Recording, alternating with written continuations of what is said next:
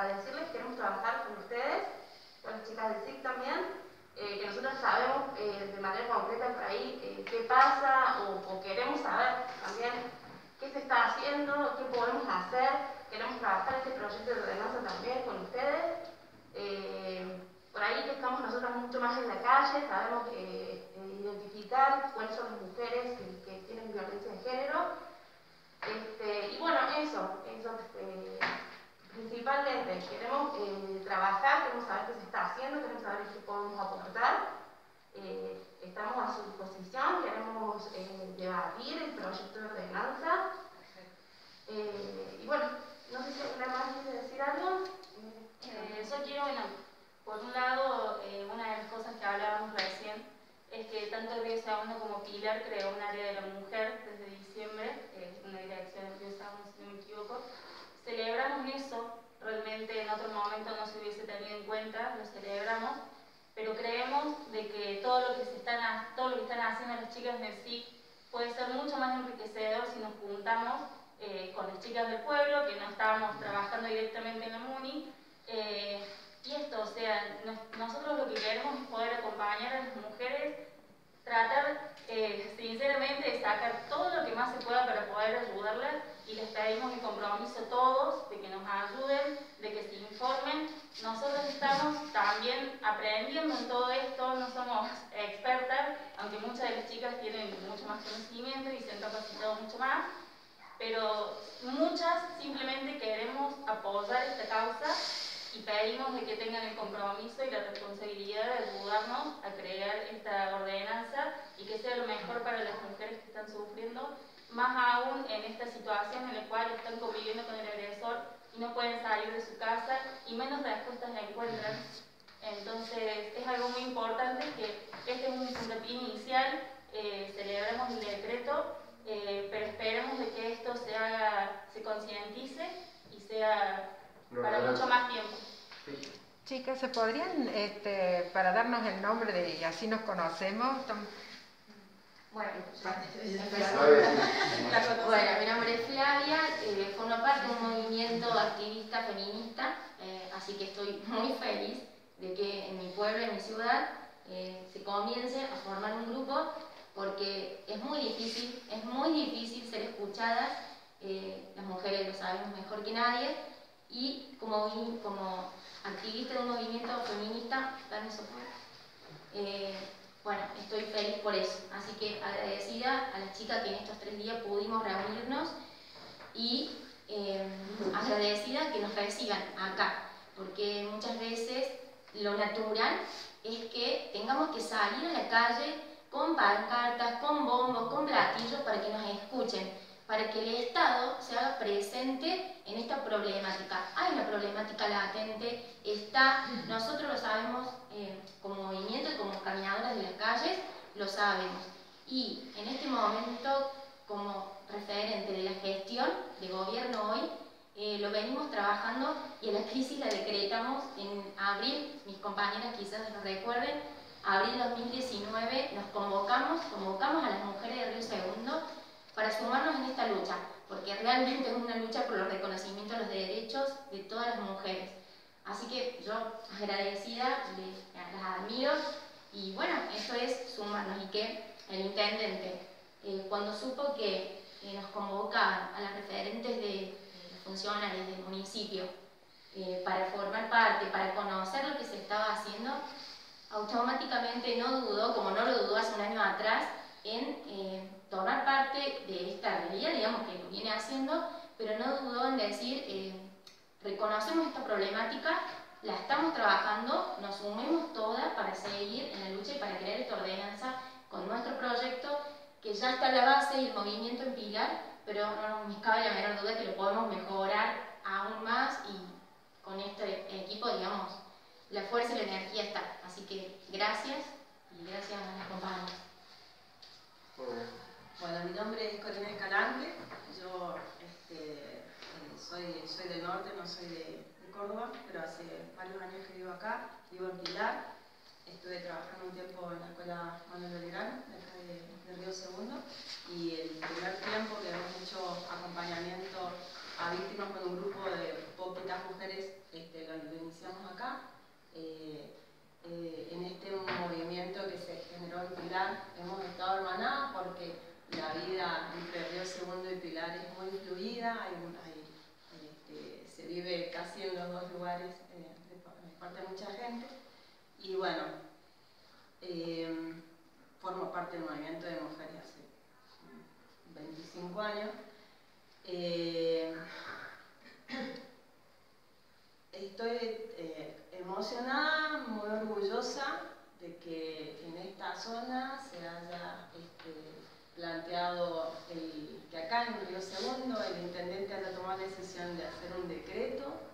Eh, si bien eh, entendemos de que el camino, bueno, empezó más a los empujones y empezó en Pilar, que se empiece a tomar la decisión de eh, oír esta necesidad de declarar a nuestros lugares en emergencia es muy importante. Quizás todavía el intendente, quizás todavía parte de la población eh, eh, no estén entendiendo bien el alcance de lo que estamos diciendo, pero estamos diciendo algo que es muy, muy profundo. ¿sí? Declararnos en emergencia significa, según entiendo yo, que a pesar de que están las leyes, a pesar de que hay equipos, a pesar de que hay este, en muchos casos decisión política, no estamos llegando y nos siguen matando. Eh, entiendo que este, eh, este recibimiento del cuerpo de concejal y concejala nos da eh, otro, otro, otro ambiente, porque este, bueno, en Pilar empezamos quizás con unos tropezones, pero es muy importante poder armar esa, esa ordenanza con la participación amplia de las mujeres, de los, de los distintos partidos políticos, eh, un verdadero ejercicio de la democracia donde podamos escuchar y donde podamos hablar es, fundamental. Eh, entiendo que nos atraviesa a todos, a todas, a todos esta problemática. Sabemos que eh, no es exclusiva de una clase social, no es exclusiva de este, una franja etaria. ¿sí? Hay algunas cifras estadísticas, pero ustedes van a saber, o, seguramente ya lo saben, no hay la estadística real de lo que pasa puertas adentro en, las casas. Entonces, eh, celebro completamente la decisión del intendente, de este cuerpo de concejales, de abrir el debate. Seguramente acá en Río Segundo que hay más población este, y el, movimiento de mujeres creció mucho más rápido, digamos, que lo que fue en Pilar. Eh, que se disponga de un espacio suficiente donde podamos tener las medidas de precaución en contexto de pandemia y que pueda estar eh, da la palabra para, para las mujeres que participan, sean de la ideología del partido político que sea, porque... Tan necesario estos espacios que muchas veces necesitamos dos horas para poder expresar todo lo que nos atraviesa. Pero no naturalicemos eh, porque entramos en alerta cuando decimos, ¿cómo? Eh, y ya tan rápido un intendente pudo sacar un decreto Sí, esto, el conocimiento está hace rato, que hoy se pongan palabras y que no se entre en debate a ver si es considerado o no considerado, eso realmente eh, es un gran avance, un paso, digamos, que no se tenga que entrar en debate si se discute o no se discute, para nosotros como un movimiento feminista y como parte de la gestión del municipio, eh, sienta las bases para empezar a trabajar en equipos, en equipet, eh, así que muchas gracias. No naturalicemos eh, esto de que siempre tenemos que reclamar. Hay un Estado presente local eh, y eso lo celebramos todas. Bueno, bueno, creo que Cori dijo todo, me voy a presentar, mi nombre es María Fernández, soy estudiante de psicología. Este, mi idea, bueno, es especializarme en género y diversidad sexual, he hecho ya varios cursos, así que bueno, estoy a su disposición, si necesitan algo, eh, vamos a estar acá, vamos a discutir, vamos a aportar eh, su ayuda. Eh, bueno, eso nada más, muchísimas gracias. Bueno, mi nombre es Camila Taborda, eh, trabajo en comunicación.